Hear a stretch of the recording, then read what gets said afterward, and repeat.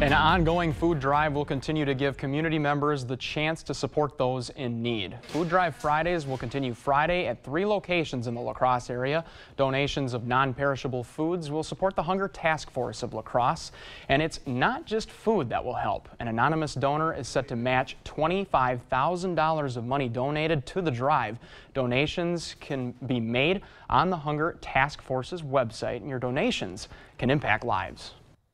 Through our distributions and talking to people who are needing the food, they've they've told us stories like, "I lost my job two years or two weeks ago, and um, if it wasn't for you guys."